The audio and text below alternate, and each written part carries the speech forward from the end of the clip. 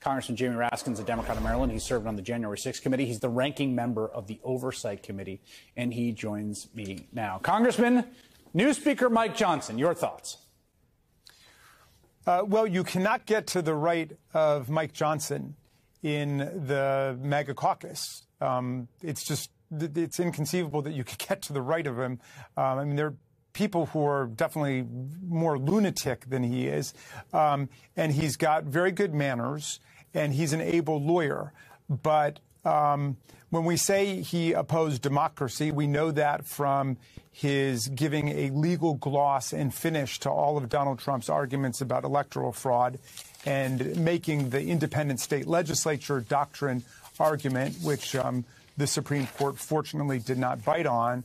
Um, but if he's not for democracy, what's he for? He's for theocracy. He wants a nationwide ban on abortion with no exceptions for uh, rape or incest. Uh, he voted against affirming women's right to travel across state lines for the purposes of obtaining health care. Um, he's also voted against reaffirming women's contraceptive rights. Um, he is uh, a real enemy of Social Security from my perspective. He wanted to increase the age of uh, Social Security retirement to 70 years old. He's very much in the Steve Bannon mode of trying to dismantle the regulatory state, by which they mean democracy itself. And so um, he's a, a, decent guy and he's a, a nice guy, but nobody should be fooled by it. Donald Trump cemented his hold over the Republican Party today, and he is in control of the House of Representatives right now. Yeah. Also, I'm just going to go out and make a prediction. I usually don't do this he, Trump's going to be mad at him at some point. He's going to turn on him at some point. He's going to betray Trump at some point. Like we've watched this a, a, a, million times, right? this is, I mean, Kevin McCarthy, you know, went down to Mar-a-Lago to kiss the ring. He he he took all the wrong-colored starbursts starbursts out of his, uh, you know, out of his bowl to present to Donald Trump. And and what good did that do him? The guy got cut loose. So like. I, I don't know how long the clock is on Mike Johnson. The, the future's undetermined. Yeah, and they could end up having a major conflict over abortion. I mean, for Mike Johnson, he really believes that yes, it should be a crime for someone to have abortion.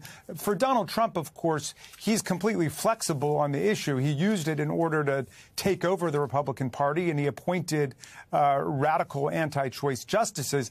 But at this point, he'd like to leave it alone because he knows how to read a poll. So it'll be interesting to see what happens between the two of them. Mike Johnson's a true believer. I was reflecting today as the voting was going on that if he watched The Handmaid's Tale, he would not be rooting for June Osborne. He'd be rooting for Gilead the entire time. He, he comes from the religious right part of the party. He worked for ADF, which is a sort of, you know, right-wing legal org that's brought a whole bunch of suits. When uh, a Louisiana newspaper, he wrote an op-ed in 2003 decrying the Supreme Court uh, striking down sodomy laws, saying that prescriptions against sodomy have deep roots in religion, politics, and law when Louisiana instituted its, its abortion ban in June 2022, breaking late yesterday, the Department of Health informed abortion facilities in our state the right to life has now been restored. Perform an abortion, get imprisoned at hard labor for one to 10 years, and fined 10K to 100K. What does it portend for democracy? The defining feature, of what happened to Emmer, like the interaction between Emmer coming, rising to the surface, Trump being like, nope, he's on the wrong side of the most important issue, which is that he's not a coup better Emmer dropping out four hours later, and then Mike Johnson, coup a better, that's my guy. What is it, what are the implications of that? Well, Trump vetoed Emmer. He um, plucked Johnson out of obscurity and propelled him to the speakership. Um, you know, if we were to allow these people to take over the House, the Senate, and the White House, we would be where Hungary is today. It's illiberal democracy that they're interested in. Tight control over the electoral process to make sure the results always move in an authoritarian direction. And then cracking down on civil rights and civil liberties, the rights of women. They're profoundly anti gay. They're against the right of gay people to get married. They would try to roll the clock back 50 years in America. That's really where they are at this point. So the stakes have been drawn real clearly in terms of the 2024 election. We've got the, the Democratic Party, the party of democracy and freedom, against the GOP, which has a bag of tricks in voter suppression, gerrymandering of federal and state uh, legislative districts, right wing judicial activism, the filibuster, all of those things to try to prevent real democratic priorities. And that's going to be the struggle um, against the theocrats and the autocrats and the kleptocrats and, you know, Vladimir Putin moving into the 2024 election. Yeah, speaking of Vladimir Putin, we'll talk about that in a second uh, in our next guest about how that, that next piece of legislation is going to look. Congressman Jamie Raskin, thank you very much. Today, for the first time, Donald Trump took the stand in one of his many trials. Not the, the two federal trials, not the Georgia racketeering trial, not the hush money trial, the civil fraud trial underway in Manhattan right now. Trump's been attending every day, doesn't apparently have anything better to do, and he was summoned to the witness stand by the judge himself to answer for a potential violation of a gag order the judge imposed three weeks ago. That gag order came after Trump posted a photo to social media of the court's clerk attacking her. And the gag order banned Trump from, reasonably, I'd say, quote, posting or speaking publicly about the judge's staff. Well, this morning, Trump went to the cameras outside the courtroom and he said this. If we had a jury, it would have been fair, at least, even if it was a somewhat negative jury, because no negative jury would vote against me. But this judge will, because this judge is a very partisan judge, with a person who's very partisan sitting alongside of him, perhaps even much more partisan than he is. He said the judge, the judges, with a partisan person sitting alongside him. The judge took issue with that comment, summoned Trump to the witness stand to answer for it. Answer for it. He asked him, quote, to whom were you referring when you said the person sitting alongside of him? You and Cohen, Trump said. The judge asked, are you sure you didn't mean the person on the other side of me, my principal law clerk? Yes, I am sure. Later, the judge asked Trump, quote, don't you always refer to Michael Cohen as Michael Cohen? no, Trump said. His attorneys jumped in to help him out, with Chris Kise insisting many things even worse than that. Alina Habba adding, quote, yes, Your Honor, I can confirm that much worse.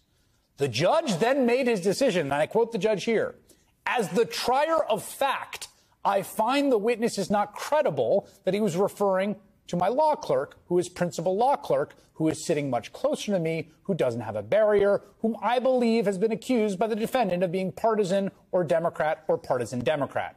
I hereby fine you $10,000, which is on the low side, to be paid within 30 days to the lawyer's fund for client protection. Now, about 45 minutes after that, the judge denied a motion by Trump's lawyer. And to the apparent surprise of his attorneys, Trump stormed out of the courtroom with Secret Service chasing behind. Irate and red faced, he stopped only to talk to the scrambling cameras outside the courtroom. The witness just admitted that we won the trial, and the judge should end this trial immediately. Thank you. The witness admitted no such thing. Joining me now are two people who were in the courtroom for that incredible scene in different roles. Former federal prosecutor Danya Perry, who represents Michael Cohen, and MSNBC legal analyst Lisa Rubin. I feel like in the times that I've reported from court, I have occasionally witnessed dramatic scenes, but largely it's actually been pretty boring and rote and not like television. Today was wild.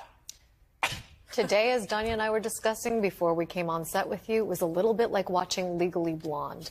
For our viewers who know this movie well, there's a moment at the end of the movie where a witness on the stand breaks down, admits to a crime, and then the judge essentially rules the trial over because Elle Woods' client is not guilty. And that is exactly what Cliff Robert, who represents the Trump sons expected to happen today. He moved for what's called a directed verdict. That's asking the judge basically truncate the trial, end it now, and find for us. And he didn't do that. But that's what they expected to happen. And they honestly seemed surprised. And Trump seemed just downright angry that that's not what happened. It was definitely like television or a film.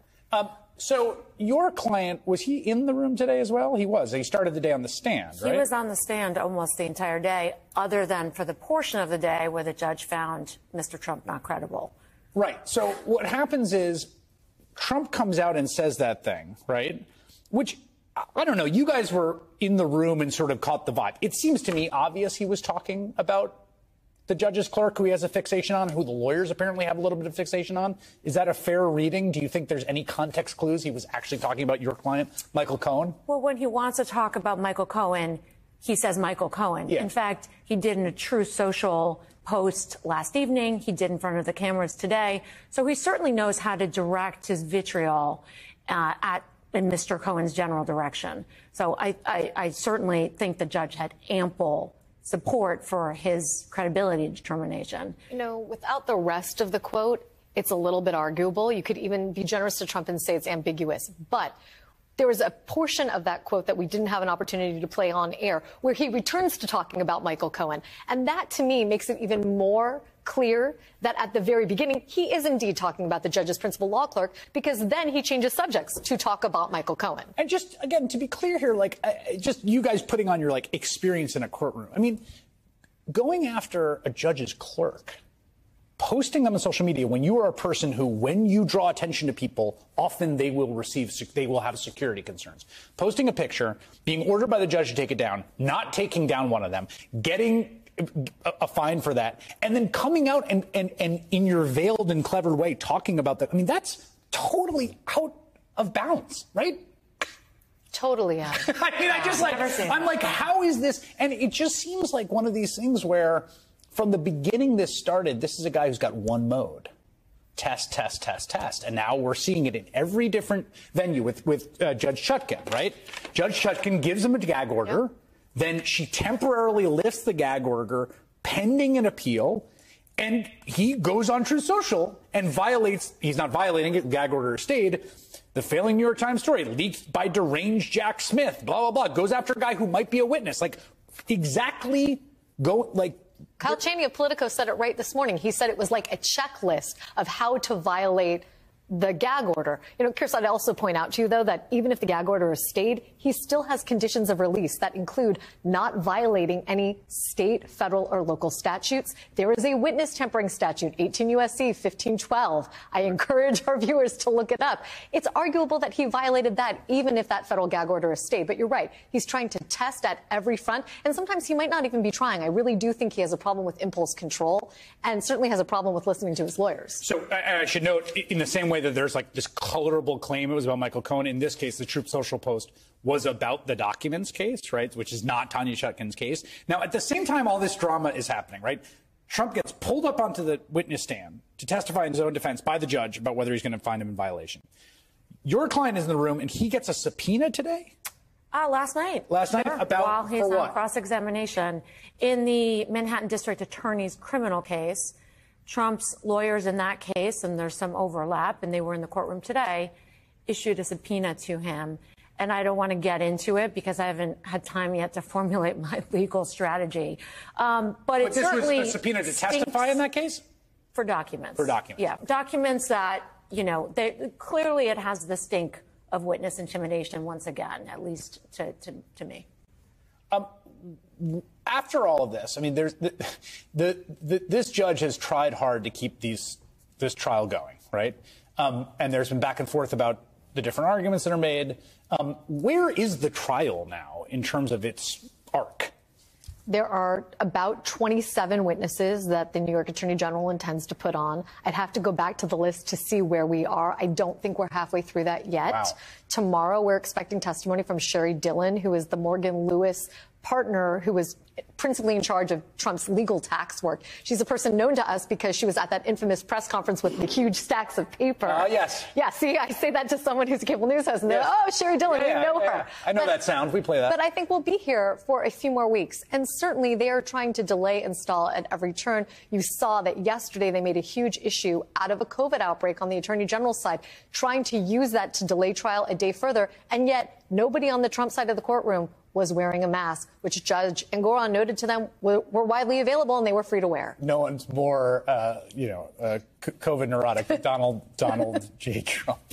Danya Perry, Elisa Rubin, thank you both. Thank, thank you. you.